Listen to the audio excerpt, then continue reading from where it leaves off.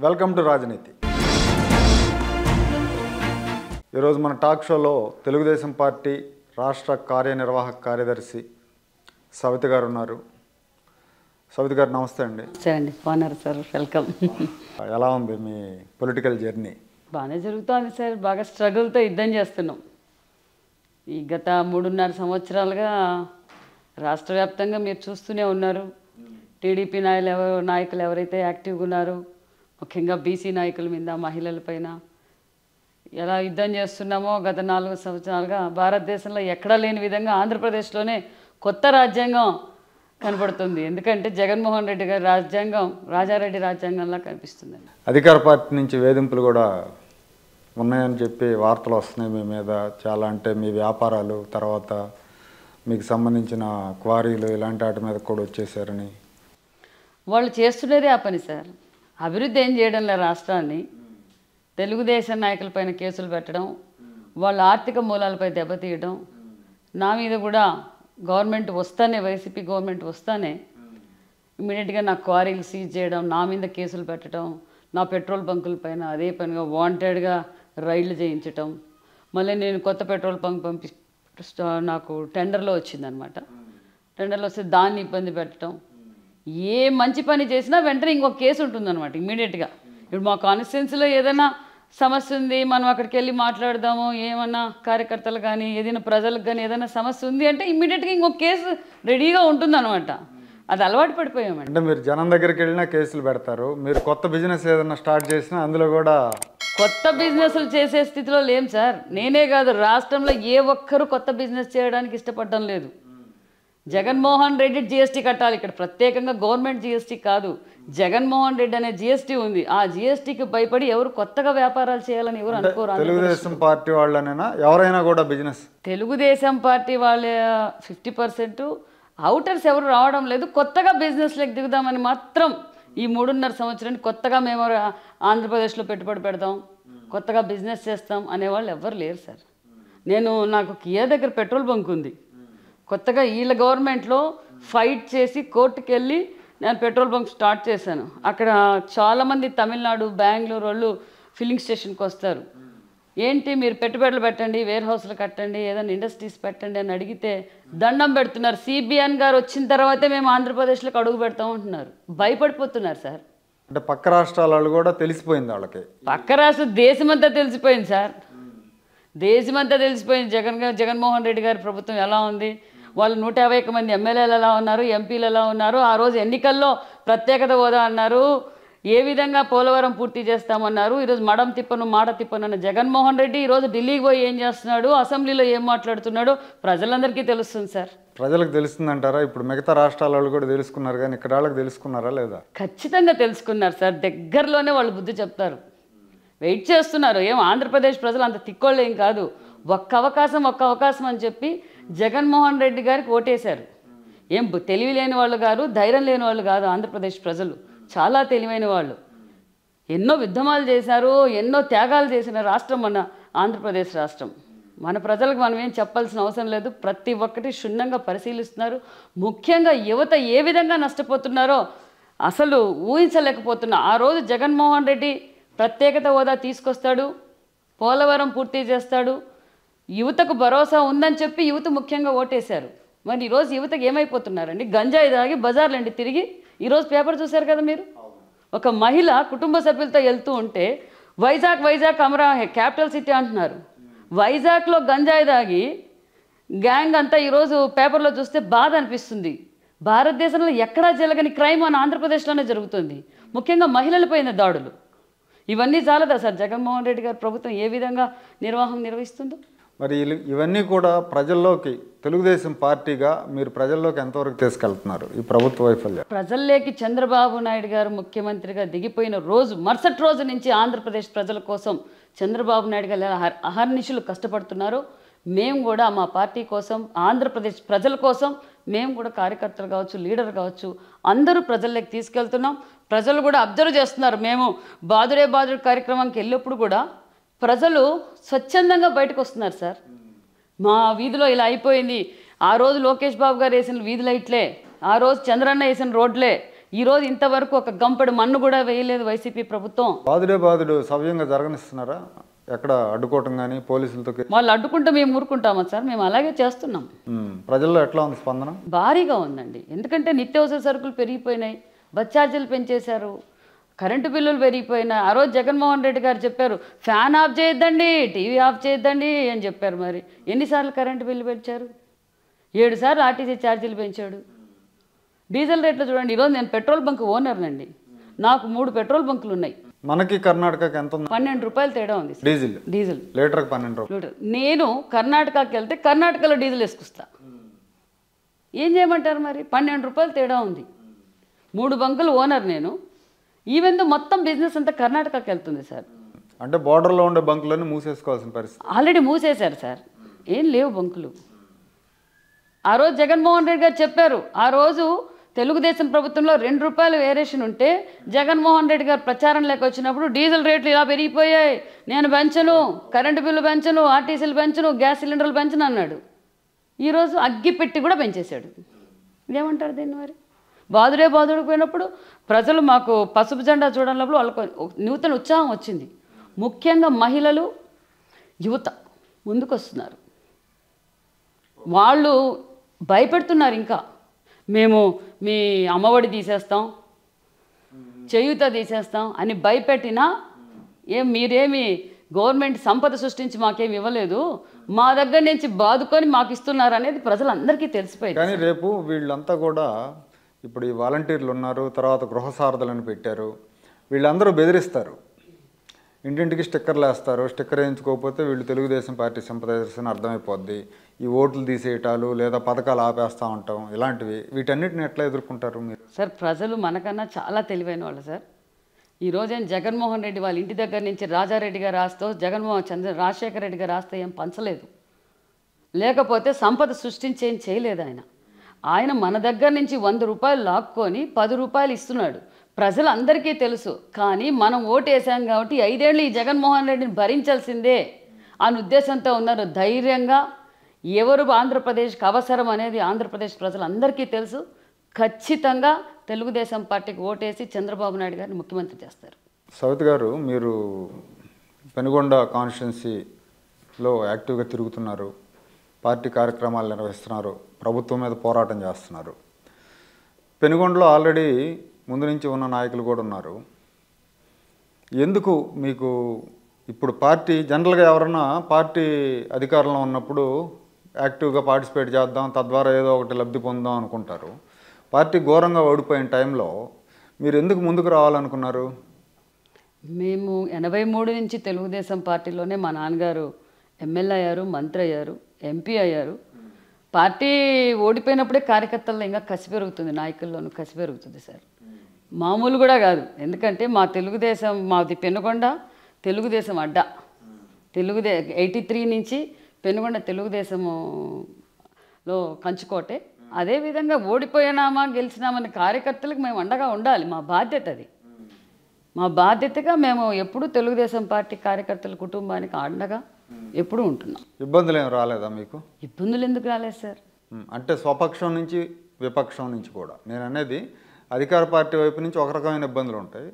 సొంత పార్టీలో కూడా ఉంటాయి. ఇప్పుడు ఆల్రెడీ ఉన్న లీడర్స్ ఉంటారు. వాళ్ళకి మీరు స్పీడ్గా ఉండటం వాళ్ళకి నచ్చకపోవచ్చు. ఇలాంటివన్నీ ఉంటాయి కదా. అదేం లేదు సార్ మా పార్టీలో అలాంటివి ఏం లేవు సార్. ఏం లేవు? మాకు వైసీపీ నుంచి దాడు కేసులు పెట్టడం మా కార్యకర్తలు సతాయించడం వైసీపీది. ముందు మన మా పార్టీ పార్టీలో మాకు ఎలాంటి డిస్టర్బెన్సెస్ లేవు మీరు బాగా జనం దగ్గరికి వెళ్తున్నారు. ఇప్పుడు మొన్న అన్న క్యాంటీన్ స్టార్ట్ చేశారు. లేదంటే ఇప్పుడు కరోనా టైంలో మీరు ఏదో చేసామన్నారు హెల్ప్ చేసామన్నారు.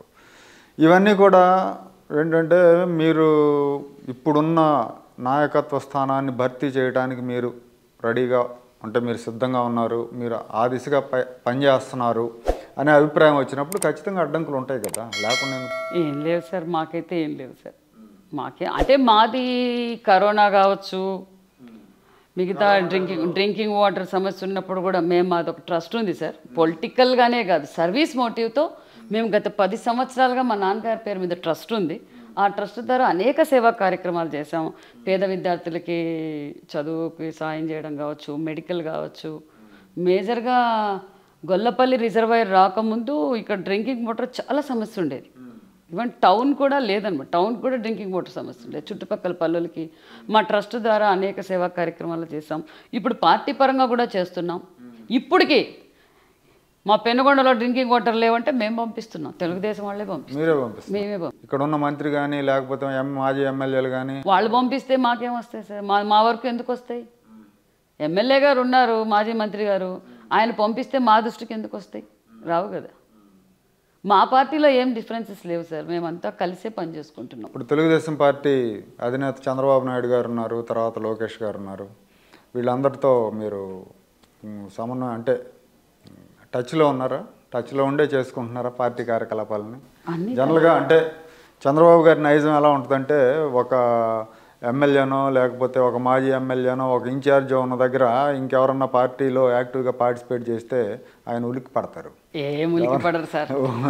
మీరు వాళ్ళ నాయకత్వంలో పని చేయండి వీళ్ళ నాయకత్వంలో పని చేయండి అని చెప్పి చెప్తా ఉంటారు. అలాంటిదేమి ప్రాబ్లం చంద్రబాబు నాయుడు గారు ప్రజలకు సేవ చేయండి. ఏమి? ఒక క్యాడర్కి కాపాడుకోండి. పార్టీని బలోపేతం చేయండి అని చెప్తారు కానీ ఇంకా వేరే ఏంగా మాకైతే నాకైతే ఏం చెప్పలేదు. గ్రీన్ సిగ్నల్ ఇచ్చారు. మంచిగా పని చేసుకోండి అమ్మా అని. పని చేయండి. పార్టీని బలోపేతం చేయండి. వైసీపీ ఏ విధంగా ఆంధ్రప్రదేశ్ నిలువు దోపిడీ చేస్తుందో వైసీపీ ప్రజల కోసం పోరాడండి అని చెప్పారు సార్ నాకు. నాకు కేసులు పెట్టినప్పుడు కూడా సార్ బాగా అండగా ఉన్నారు. లోకేష్ గారు లోకేష్ గారు కూడా అదే అన్నారు. మనమంతా యూత్ ఒక టీమ్గా పనిచేద్దాం టీమ్గా కలిసి వెళ్దాం. మీరంతా నేనున్నాను. మీరు వెళ్ళి పబ్లిక్లోకి వెళ్ళి ప్రజల్ని ప్రజల సమస్యలు ఏంటో తెలుసుకోండి ప్రజల కోసం పోరాడండి అని లోకేష్ బాబు గారు కూడా చెప్పారు. అయితే మీరు యాక్చువల్గా రెండు వేల పంతొమ్మిది ఎన్నికలకు ముందు మీకు వైసీపీ నుంచి ఒక ఆఫర్ వచ్చింది. ఎంపీ హిందూపురం ఎంపీగా కంటెస్ట్ చేస్తారని చెప్పి మిమ్మల్ని అడిగారు. మీరు ఎందుకు తిరస్కరించారు అప్పుడు? నేను తెలుగుదేశంలోనే ఉండి కంటిన్యూ అయ్యి చంద్రబాబు నాయుడు గారి నాయకత్వంలో నేను ఎమ్మెల్యే కావాలనుకున్నానండి. సో ఇప్పుడు రాబోయే ఎన్నికల్లో చంద్రబాబు నాయుడు గారి ఆశీస్సులతో ఎక్కడో ఒక చోట నుంచి కంటెస్ట్ చేయాలి. ఎక్కడో ఒక చోటు నుంచి ఏం కాదు సార్ ఎక్కడి నుంచి ఎక్కడ అవకాశం ఇచ్చి చంద్రబాబు నాయుడు గారి యువత మహిళ ఎందుకంటే మహిళా సాధికారత పుట్టింది తెలుగుదేశం పార్టీలో మహిళ అన్ని రంగాల్లోనూ ముందుకు పోయింది తెలుగుదేశం పార్టీలో. యువతకు భరోసా తెలుగుదేశం పార్టీ. ఎనభై మూడు చంద్రబాబు నాయుడు గారు పార్టీ రామారావు గారు పార్టీ పెట్టినప్పుడు యువత యువతకు అందరికీ అవకాశం ఇచ్చి ఒక కాలేజ్ ఇది. మీకు అందరికీ తెలుసు యూనివర్సిటీ తెలుగుదేశం పార్టీ.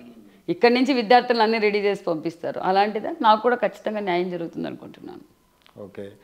ఇప్పుడు అధికార పార్టీ వైపు నుంచి మీరు ఎన్నికలు జరిగిన వెంటనే కూడా మీ మీద కేసులు పెట్టడం కొద్ది రోజులు మీరు అప్స్కాండ్ కూడా అయ్యారనుకుంటా. అంటే ఏమైనా చెప్తారా వివరంగా? ఏమేమి జరిగింది ఏంటి అనేది? మేము అంటే మేము రాష్ట్ర స్థాయిలో చూస్తే చాలామంది ఇప్పుడు గొట్టిపేట రవికుమార్ గారికి క్వారీలు ఉన్నాయి. ఆయన మీద ఫైన్లు వేశారు ఆయన కోర్టుకు వెళ్ళి స్టే తెచ్చుకున్నారు గట్టిగా నిలబడ్డారు ఆయన కూడా. తర్వాత అదే జిల్లాలో మంత్రిగా పనిచేసిన మహామహులు సిద్ధారాఘవరావు లాంటి వాళ్ళంతా కూడా పార్టీ మారి కేసులు మాఫీ చేయించుకోవటం ఏదో చేస్తూ ఉన్నారు. మరి మీ విషయం కూడా చాలామందికి ఇంకా తెలియదు రాష్ట్రంలో. మేబీ అనంతపురం జిల్లాలో తెలిసి ఉండొచ్చు. ఎట్లా జరుగుతుంది? మీ మీద వేధింపుల పర్వం ఒకసారి చెప్తారా? నేను గత ఇరవై సంవత్సరాలుగా మాది డీజిల్ బిజినెస్ అండి. నెక్స్ట్ వచ్చి క్రషర్స్ ఉన్నాయి. ఇరవై సంవత్సరాలుగా నేను ఏ రోజు గవర్నమెంట్ నుంచి కేసులు తీసుకుని అన్ని పర్మిషన్లు అన్ని ట్యాక్స్లు కడుతూ నేను క్రషర్ మెయింటైన్ చేసుకుంటూ వచ్చాను.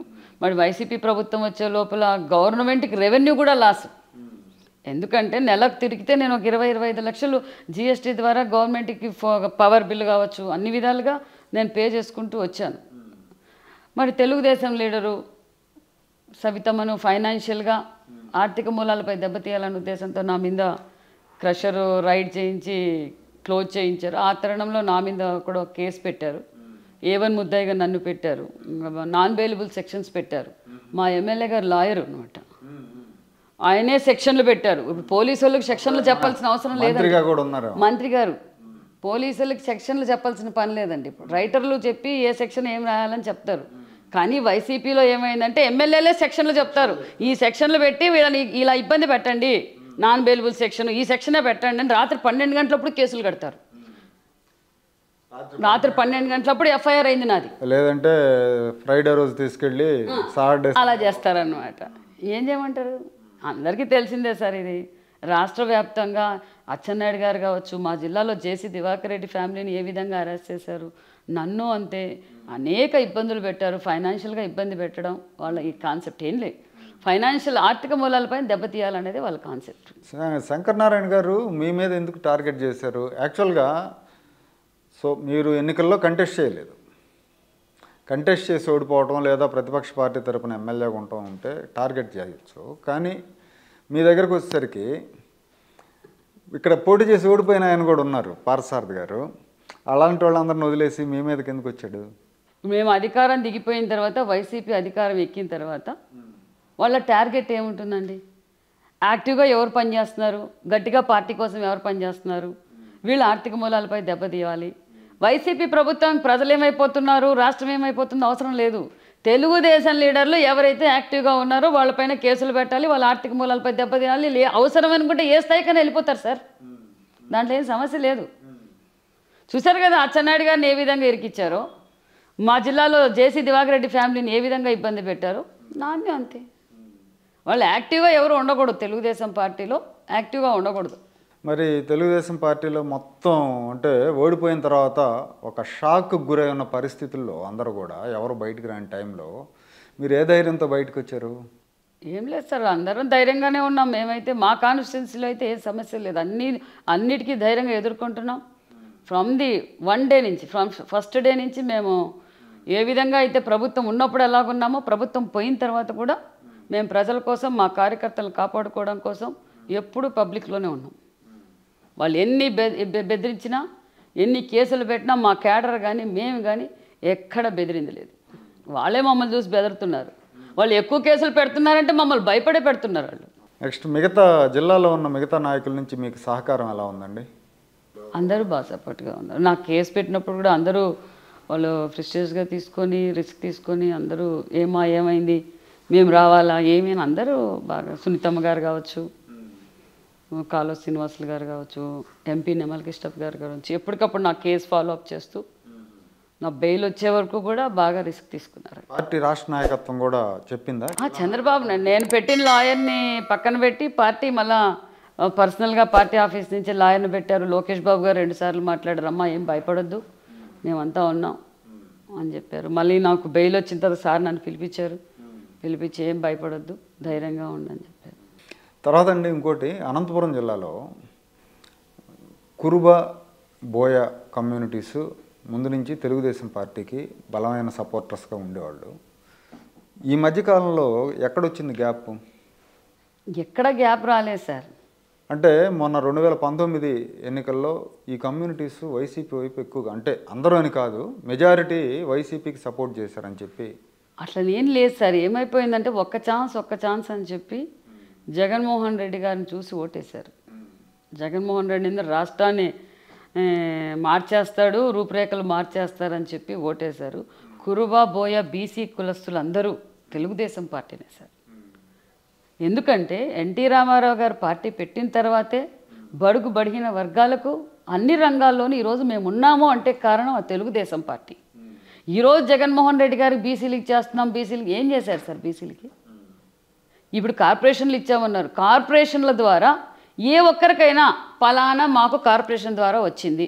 బీసీ కార్పొరేషన్ కురబ కార్పొరేషన్ ఇన్ని కార్పొరేషన్లు పెట్టారు కదా.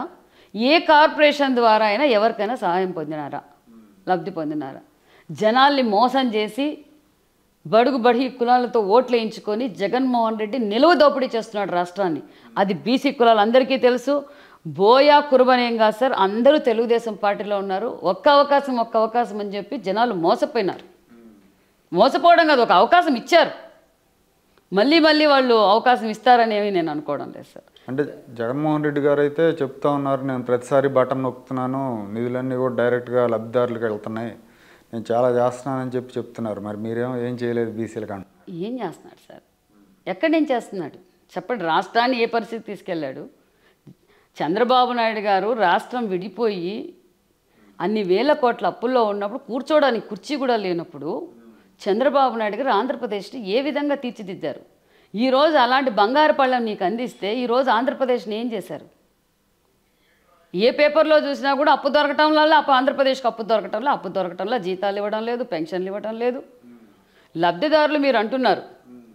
బటన్ నొక్కితే వెళ్తున్నాయంట. జనాలు కూడా దగ్గరలోనే బటన్ నొక్కడానికి రెడీగా ఉన్నారు సార్. ఆయన ఏమి సంపద సృష్టించో లేకపోతే కాదు ప్రజల దగ్గర నుంచి నిలువ దోపిడీ చేస్తున్నాడు. పది రూపాయల వస్తువుని వంద రూపాయలు చేసి ప్రజల దగ్గర నుంచి లాక్కొని ఈరోజు ఆయన సంక్షేమ పథకాలు ఇస్తున్నాడు. అది కూడా ఎవరికే? వైసీపీ కార్యకర్తలకి వైసీపీ కుటుంబ సభ్యులకి ఇస్తున్నాడు. అర్హులకి ఎవరికి ఇవ్వడం లేదు.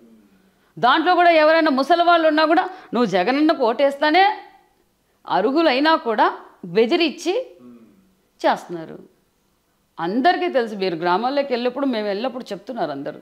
తర్వాత అండి ఇప్పుడు మన జిల్లాలో సరే మీకు తాడిపత్రిలో ప్రభాకర్ రెడ్డి వాళ్ళు బాగా ఫైట్ చేస్తున్నారు జేసీ ఫ్యామిలీ. అట్లా ఎక్కడో ఒకటి రెండు చోట్ల తప్పితే మిగతా చోట్ల అంత యాక్టివ్గా ఉన్నట్టు అనిపించట్లేదు తెలుగుదేశం స్థానిక నాయకులు. ఏం లేదు సార్ అన్ని ప్రోగ్రామ్స్ చేస్తున్నారు కదా సార్. చేస్తున్నారా. కానీ ఎక్కడ కూడా అంత ఇది రావట్లేదు. ఇప్పుడు మీకు మీ మీ జిల్లాలో సీనియర్ నాయకులు చాలామంది ఉన్నారు. కాలువ శ్రీనివాసులు గారు ఉన్నారు ఆయన మంత్రిగా చేశారు పార్థసారథి గారు ఉన్నారు నిమ్మల కృష్ణప్ప గారు ఉన్నారు లేకపోతే పరిటాల సునీత గారు ఉన్నారు. ఎక్కడ కూడా ఏమి కార్యక్రమాలు చేస్తున్నట్టు లేక ఈయనకి ఇదేం కర్మ ప్రోగ్రామ్స్ చేస్తున్నారు? బాధడే బాధుడు చేశారు. అన్ని ప్రోగ్రామ్స్ అంటే ఒకప్పుడు అనంతపురం జిల్లా అంటే తెలుగుదేశానికి ఒక అడ్డాలాగా ఉండేది. ఇప్పుడు కూడా అడ్డానే సార్. ఇప్పుడు కూడా అడ్డానే మళ్ళా మాదే పద్నాలుగు సీట్లు ఖచ్చితంగా వస్తాయి. పద్నాలుగు పద్నాలుగు వస్తాయి ఖచ్చితంగా వస్తాయి. ఉమ్మడి జిల్లా. దాంట్లో ఏం సమస్య లేదు. పెనుగొండ కాన్స్టిట్యున్సీకి వచ్చేసరికండి చంద్రబాబు నాయుడు గారు ఇక్కడ కియా ప్లాంట్ పెట్టించారు. బాగా దానికోసం చొరవ తీసుకున్నారు. ఆ తర్వాత ఇక్కడ పరిస్థితులు మారిపోయినాయి. కియా ప్లాంట్ పెట్టిన తర్వాత ఒక్క ఒక్కసారిగా ప్రజల జీవన ప్రమాణాలు కూడా పెరిగినాయి. స్థలాల రేట్లు పొలాల రేట్లు పెరిగినాయి. ఉపాధి పెరిగింది. ఆ కియా యాన్సిలరీస్ కొన్ని వచ్చినాయి కొన్ని పోయినాయి అనుకోండి జగన్మోహన్ రెడ్డి దయ వల్ల. ఇంత చేసినా కూడా ఇక్కడ ఓడిపోయింది పెనుగొండలో. కారణం ఏంటంటారు? అంతే సార్ రాష్ట్రం అంతా ఒక్క అంటే ఒక్క ఒక్క ఛాన్సా? ఒక్క ఛాన్స్ ఒక్క ఛాన్స్. ఇంతకంటే బాగా చేస్తాడని ఎక్స్పెక్ట్ చేశారు? అంతే కదా సార్. ఒక్క ఛాన్స్ చూద్దాం అని చెప్పి ఇచ్చారు. ఈరోజు ఓటేసిన ప్రతి ఒక్కరూ బాధపడుతున్నారు. అసలు చంద్రబాబు నాయుడు గారు రాష్ట్రం విడిపోయి ఇంత కష్టకాలాల్లో రాయలసీమకు అసలు ఇంటర్నేషనల్ కియా సంస్థ కియా తీసుకురావడం వల్ల రాయలసీమకే ఒక వెలుగండి అసలు. ఎక్కడో కృష్ణా జలాలు ఈరోజు నగిరి రాయలసీమలో నీళ్ళు పారుతున్నాయంటే కారణం చంద్రబాబు నాయుడు గారు నిజంగానే ఆయన అపర భగీరథుడు అని చెప్పాలి. ఈరోజు రాయలసీమ ఈ విధంగా ఉంది అంటే నిజంగా చంద్రబాబు నాయుడు గారు ఆయన పెట్టిన భిక్షే. మరి ఈరోజు మన జగన్మోహన్ రెడ్డి గారు. ఒక నిమిషం అండి. ఇప్పుడు చంద్రబాబు నాయుడు గారు ఇన్ని చేశారు కదా కియా తెచ్చారు లేకపోతే అక్కడ శ్రీ సిటీలో ఇండస్ట్రీస్ వచ్చినాయి తిరుపతిలో ఎలక్ట్రానిక్ సెజలు వచ్చినాయి. ఇవన్నీ తెచ్చాడు కృష్ణా నీళ్ళు ఇచ్చాడు ఎప్పుడు కుప్పం దాకా తీసుకెళ్ళాడు పులివెందులకు కూడా ఇచ్చాడు ఆయన. కానీ రాయలసీమ వాళ్ళు ఎందుకంటే ఎప్పుడు చంద్రబాబు పవర్లో ఉన్నప్పుడు రాయలసీమ సంఘాల పేరుతో కొంతమంది రాయలసీమకు అన్యాయం జరుగుతుంది మాకేం చేయలేదు అని చెప్పి ఏడుస్తూ ఉంటారు. ఇప్పుడేమో ఈ మూడేళ్ళ నుంచి నిజంగానే ఏడిపిస్తున్నాడు జగన్మోహన్ రెడ్డి. ఏమీ లేవు ఉపాధి లేదు ఇండస్ట్రీస్ లేవు ఏమీ లేవు అన్నీ పోయినాయి. ఎవడు మాట్లాడు ఒక్కడు కూడా. ఏమై ఉంటుంది? ఎందుకు ఇలా జరుగుతూ ఉంటుంది? చంద్రబాబు అధికారంలో ఉన్నప్పుడే రాయలసీమ వాళ్ళకి హక్కులు గుర్తొస్తాయా? లేకపోతే కన్వీనెంట్గా జగన్మోహన్ రెడ్డి గారు జగన్మోహన్ రెడ్డి గారు కాబట్టి మర్చిపోతారా? చంద్రబాబు నాయుడు గారు ప్రజాస్వామ్యాన్ని గౌరవిస్తారు. జగన్మోహన్ రెడ్డి ఏం చేస్తాడు సార్? ఈరోజు టీచర్ల పరిస్థితి ఏంటి? ఈరోజు ఇన్ని ఇండస్ట్రీస్ వెళ్ళిపోతున్నాయి. మరి ఎక్కడ పోయారంటే మేధావులు ఎంతోమంది మేధావులు ఉన్నారు రాయలసీమలో. మేధావులు లేక కాదు. ఈరోజు ప్రశ్నించలేకపోతున్నారంటే సమయం వచ్చినప్పుడు చెప్దామని వెయిట్ చేస్తారు అంటే భయ అంతే కదా సార్. అందరూ అందరూ మాలాగే పోరాటం చేయలేరు కదా. నేను అనేది చాలామంది మేధావులు ఎదురు చూస్తున్నారు సార్. ఏమి ఆయనకి భయపడేం కాదు. జనాలు ఓట్లేశారు. ఆయన గౌరవించాలి చూశారు. దగ్గరలోనే జగన్మోహన్ రెడ్డి గారికి కూడా బుద్ధి చెప్పడానికి అన్ని రంగాలు రెడీ అయ్యాయి సార్. చంద్రబాబు నాయుడు గారు జనానికి అవేర్నెస్ ఉందండి. అప్పుడు ఆయన ఎంత చేశారు? ఇప్పుడు ఈయన ఏం చేయట్లేదు అని అవి మీరు మేం చెప్పాల్సిన పని లేదు సార్. పబ్లికే చెప్తున్నారు. ఈ రోజు కియా ఇంటర్నేషనల్ ఇక్కడికి రావడం వల్ల లక్షల కుటుంబాలు ఇక్కడ ఉపాధి పొందుతున్నారు సార్. మా జిల్లానే కాదు రాయలసీమ నుంచి ఎంతోమంది ఇక్కడ వచ్చి ఉపాధి పొందుతున్నారు. టీ స్టాల్ దగ్గర నుంచి మూడు లక్షల జీతం తీసుకుంటున్నారు కియా నుంచి. ఇంకా చంద్రబాబు నాయుడు గారు ఇక్కడ ఉండింటే గ- మన తెలుగుదేశం ప్రభుత్వమే ఉండింటే ఎన్ని యాన్సరీస్ యూనిట్స్ వచ్చేది ఏ విధంగా అభివృద్ధి చేది ఒక ఇండస్ట్రియల్ హబ్ లాగా ఉండేది యాక్చువల్గా అంత అభివృద్ధి చేశాం. మరి ఏది చేశా? ఆయన ఆ మూడున్నర సంవత్సరం నుంచి రాయలసీమకు నేను ఇది చేశానని చెప్పమానండి. జగన్మోహన్ రెడ్డి జగన్మోహన్ రెడ్డి గారు ఎమ్మెల్యేలు ఎంపీలు రాజ్యసభ మెంబర్లు కావలసిన నామినేటెడ్ పోస్టులు ఇచ్చారు. మేము రాయలసీమకి ఇది చేసాం అని ఏదన్నా ఒక్కటి చెప్పమానండి చూద్దాం. ఒక పదివేల మందికి ఉపాధి చూపించాం. ఏదన్నా ఒక్కటి. ఒక ప్రాజెక్ట్ తీసుకొచ్చాం ఒక ఇరిగేషన్ ప్రాజెక్ట్ తీసుకొచ్చాం ఒక ఇండస్ట్రీస్ తీసుకొచ్చాం. మేము రాయలసీమ బిడ్డ రాయలసీమ పులి బిడ్డ అది ఇది అంటున్నారు కదా. మరి ఎక్కడ ఈ పులి బిడ్డ? ఏం చేశాడు రాయలసీమకు? ప్రజలను ఆ దిశగా ఆలోచింపజేయడంలో తెలుగుదేశం పార్టీ అంతవరకు సక్సెస్ అవుతుంది. హండ్రెడ్ పర్సెంట్ సక్సెస్ అయ్యాం సార్. చెప్తున్నారా మీ నాయకులు మీ రాయలసీమ? మేము చెప్పే పని లేదు సార్. మేము వెళ్ళి గ్రామాల్లోకి వెళ్తుంటే ఏ విధంగా బూతులు తిడుతున్నారు?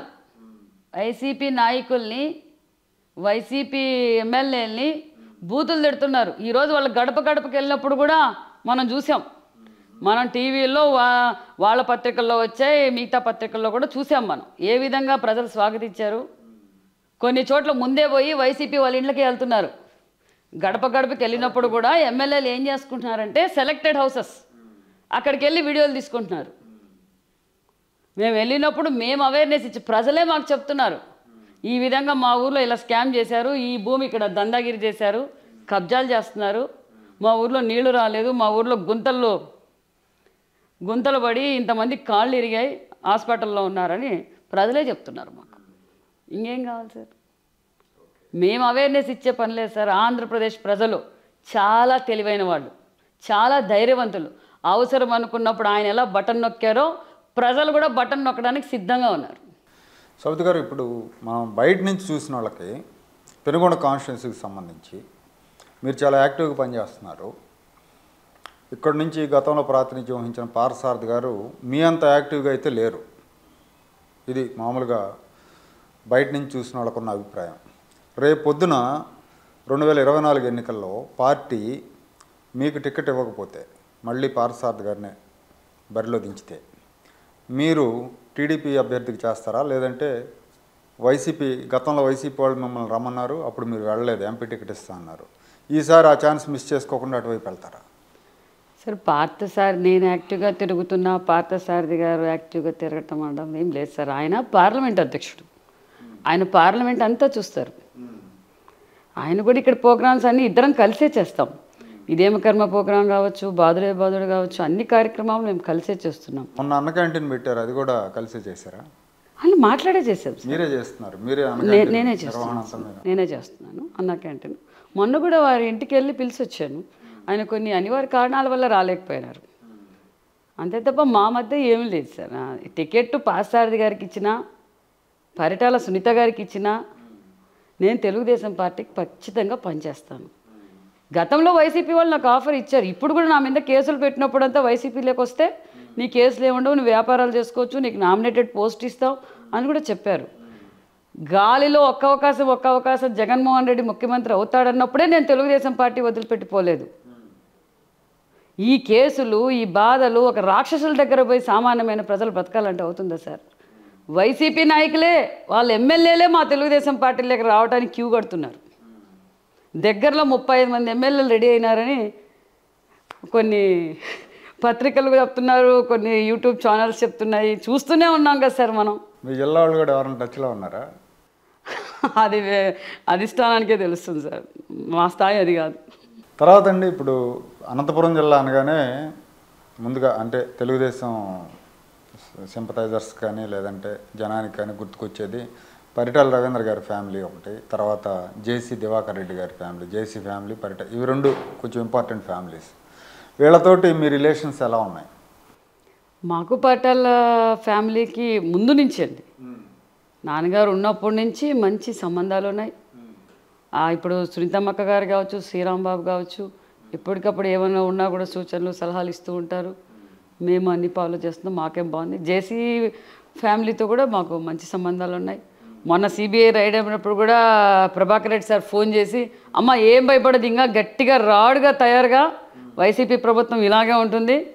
ఏం కాదు మేమంతా నీకున్నామని చెప్పి ఫోన్ చేశారు.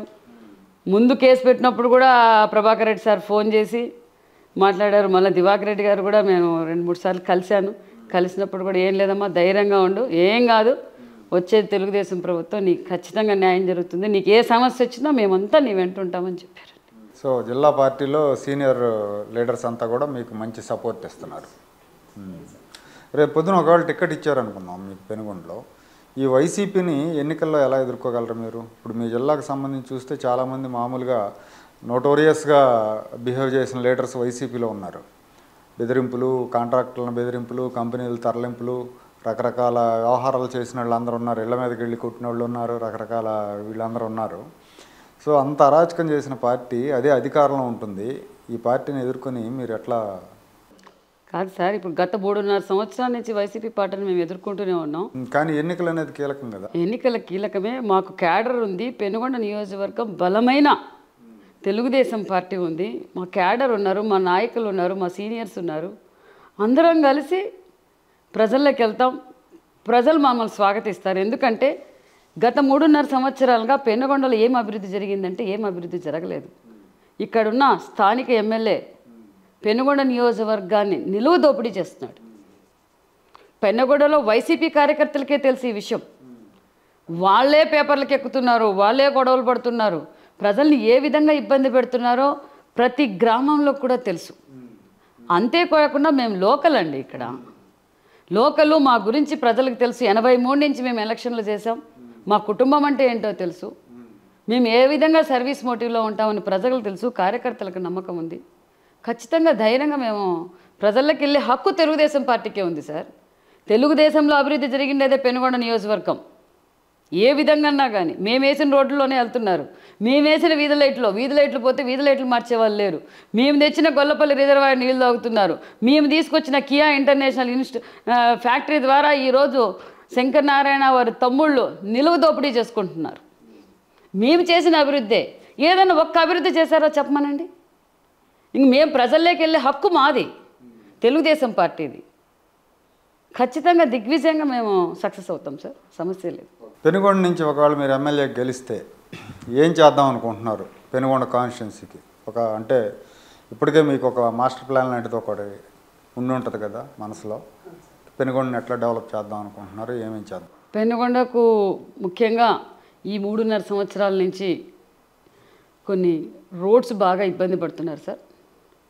అన్ని రోడ్లు ప్రతి గ్రామానికి రోడ్డు వెళ్ళాలి. ప్రతి గ్రామంలోనూ స్కూల్ బిల్డింగ్స్ ముఖ్యంగా ఈ ఇరిగేషన్ ప్రాజెక్ట్స్ ప్రతి చెరువుకి నీళ్ళు అందించాలి. అదేవిధంగా సర్ప్లస్ డ్యామ్స్ డ్రిప్ ఇరిగేషన్ ఎందుకంటే రైతులకు డ్రిప్ రావడం లేదు.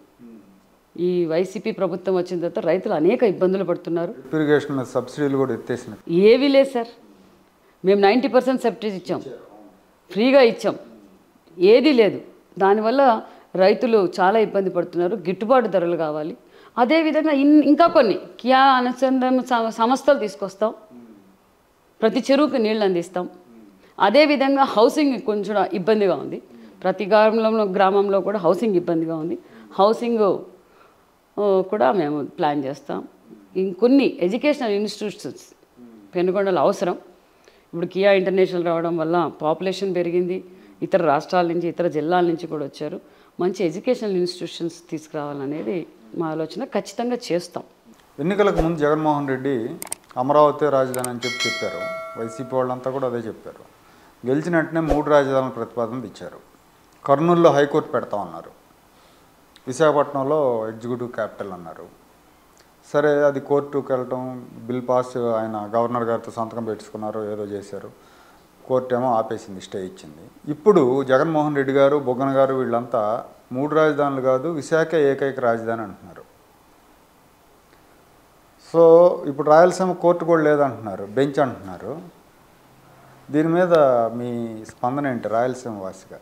సార్ జగన్మోహన్ రెడ్డి ప్రతిపక్ష నేతగా ఉన్నప్పుడు అసెంబ్లీ సాక్షిగా నేను అమరావతిని స్వాగతిస్తున్నా. ఆయన ప్రచారంలో కూడా అమరావతే రాజధాని అని ఆయన ఎమ్మెల్యేలు ఆయన చెప్పుకొని గెలిచిన తర్వాత అదే మన అసెంబ్లీ సాక్షిగా మళ్ళీ మూడు రాజధానులు అన్నాడు. ఎవరు అడిగారు సార్ మూడు రాజధానులు? ఎవరు అడిగారు చెప్పండి. ప్రజలు అడిగారా మూడు రాజధానులని? నువ్వు ప్రజల్లోకి వెళ్ళావా? మూడు రాజధానులు పెడతానని చెప్పింటే ప్రజల్ని కోటేసేవారా? ఆయనకి పరిపాలించేది చేతకాక ఆయనకి చేతనైంది ఒక్కటే. ఈరోజు కర్నూలుని ఆయన- ఆయన రాయలసీమ ద్రోహి ఎవరంటే జగన్మోహన్ రెడ్డి గారే చెప్పాలి. ఈరోజు రాయలసీమ ప్రజలు నష్టపోతున్నారంటే దానికి కారణం జగన్మోహన్ రెడ్డి గారే. నేను రాయలసీమ బిడ్డ రాయలసీమ బిడ్డ అన్నారు. మరి రాయలసీమ రాజధాని కర్నూలులో తెచ్చిపెట్టచ్చు కదా. నాయ రాజధాని అన్నారు. అది లేదు ఇది లేదు. మరి ఏ విధంగా ఈరోజు వైజాగ్ అంటున్నారు? ఎందుకంటున్నారు వైజాగ్?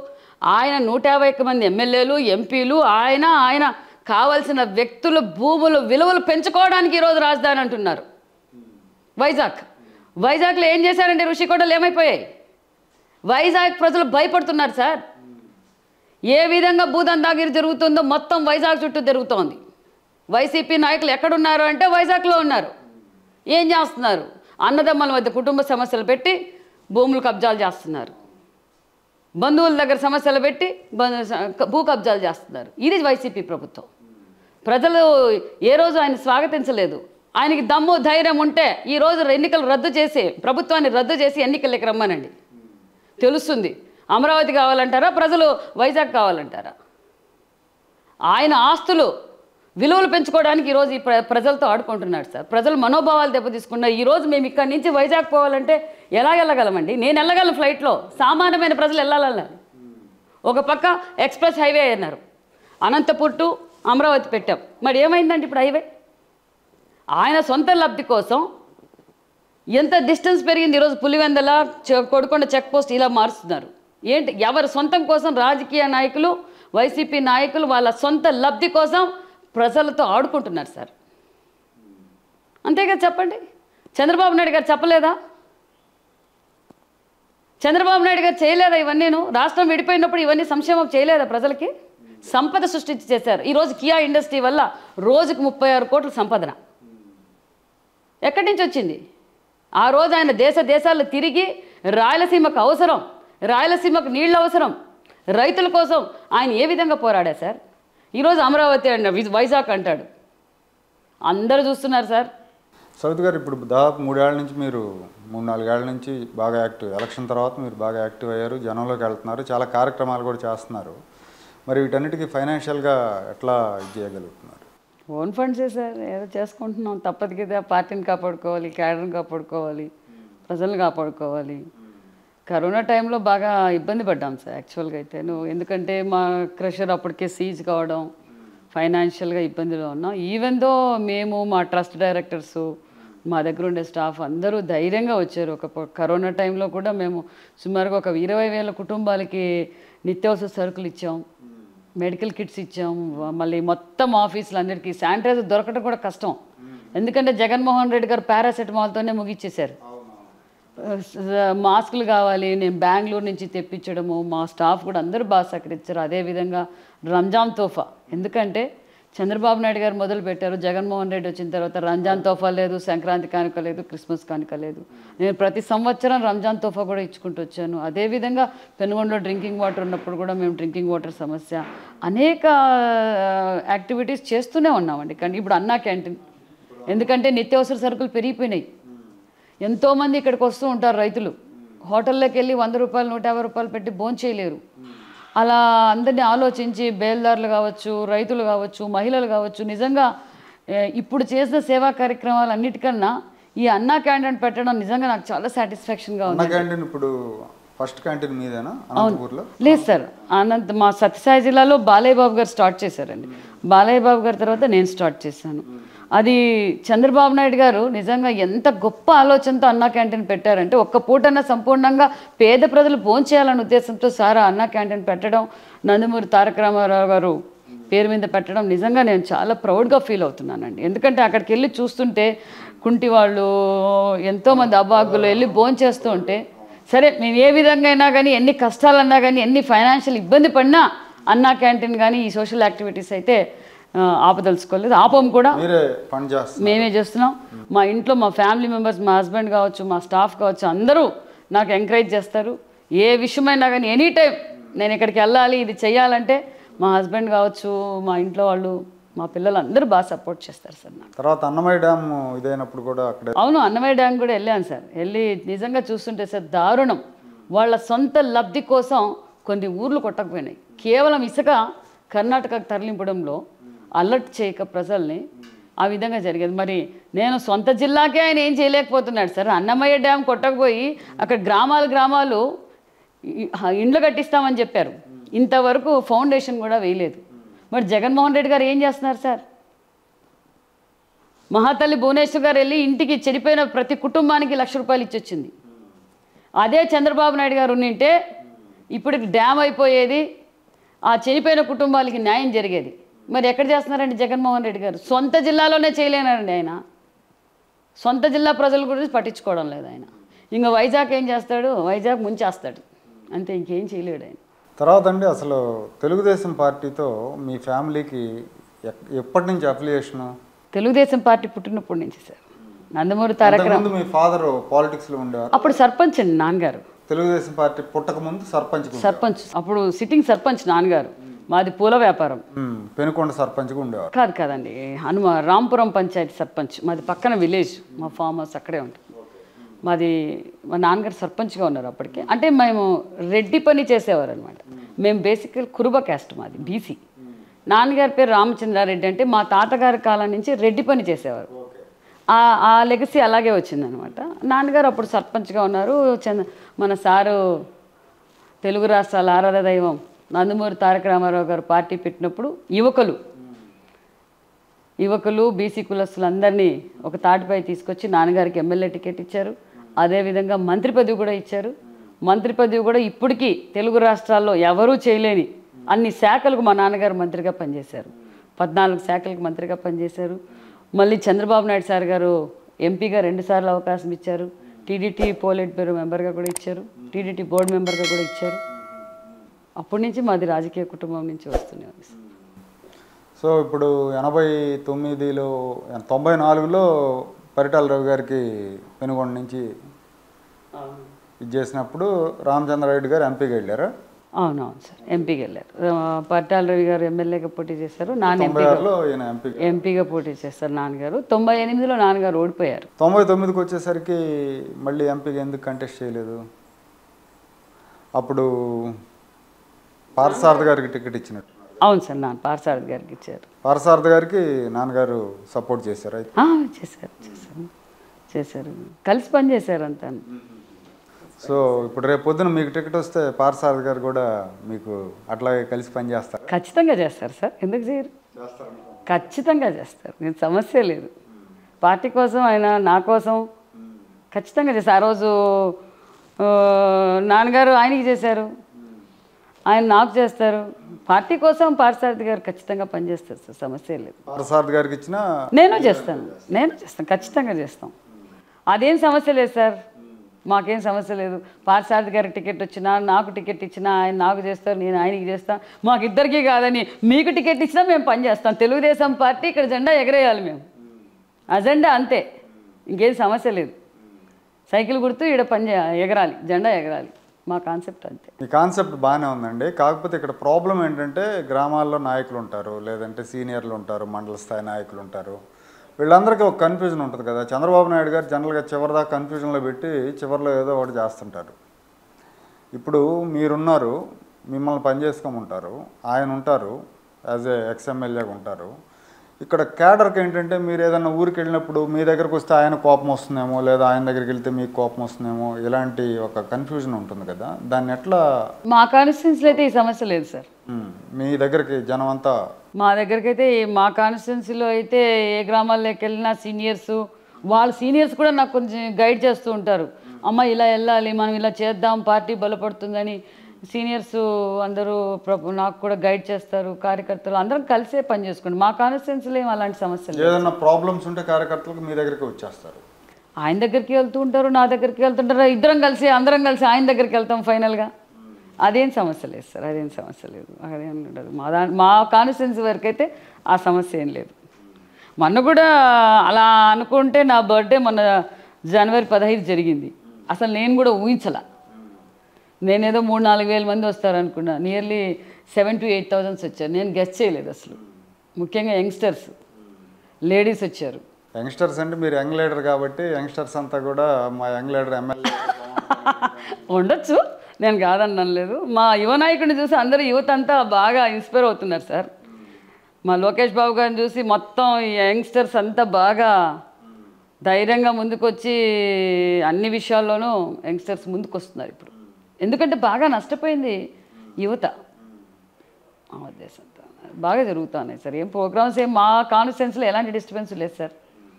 మా మధ్య అయితే. లోకేష్ గారు మిమ్మల్ని బాగా ఎంకరేజ్ చేస్తున్నారని చెప్పి అంటున్నారు. ఈ మధ్య యోగాళం పాదయాత్రకి వెళ్ళినట్టున్నారుగా మీరు కూడా వెళ్ళాను సార్ వెళ్ళాను సార్. నన్నే కాదు సార్ యువగల యువతనంతా ఎంకరేజ్ చేస్తున్నారు. ముఖ్యంగా ముఖ్యంగా లేడీస్ కూడా మీరు బయటికి రావాలమ్మా. చాలామంది మొన్న యువగలం పాదయాత్రకి వెళ్ళినప్పుడు ముఖ్యంగా సార్ లేడీస్ యంగ్స్టర్స్ బయటకు వస్తున్నారు. కాలేజీ స్టూడెంట్స్ ఈ డిగ్రీ తీసుకొని బయటకు వచ్చి నిరుద్యోగులు బయటకు రావడం యువత బాగా వస్తున్నారు సార్. బాగా రైతులు వాళ్ళ సమస్యలు చెప్పుకోవడం. లోకేష్ బాబు గారు యంగ్స్టర్స్ అందరినీ ఎంకరేజ్ చేస్తున్నారు. మనమంతా టీం వర్క్ చేద్దాం. మీరు మాతో కూడా చెప్పారు. మీరంతా మనమంతా కలిసి టీం వర్క్ చేద్దామమ్మా. మీరు అగ్రెసివ్గా పార్టీ కోసం పనిచేస్తున్నారు. Well well and good. ఇంకా ముందుకు పోవాలి పార్టీని ఇంకా ప్రజల్లోకి తీసుకెళ్ళాలని చెప్పారు.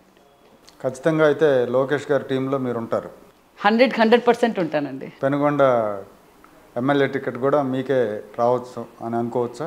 నాకైతే హోప్స్ ఉన్నాయండి. హండ్రెడ్ పర్సెంట్ ఎందుకంటే మహిళలకు అవకాశం తెలుగుదేశం పార్టీలోనే దొరుకుతుంది. మహిళలకు న్యాయం యువత ఆ లైన్లో చూస్తే ఖచ్చితంగా నేను పెనుగొండలో మా నాన్నగారి కోరిక మేరకు ఖచ్చితంగా MLA అవుతాననేది.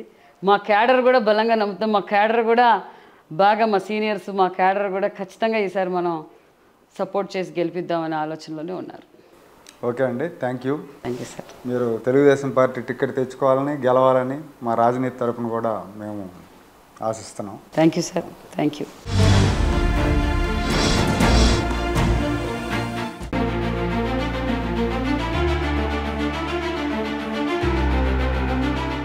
like share and subscribe to राजनीति ानल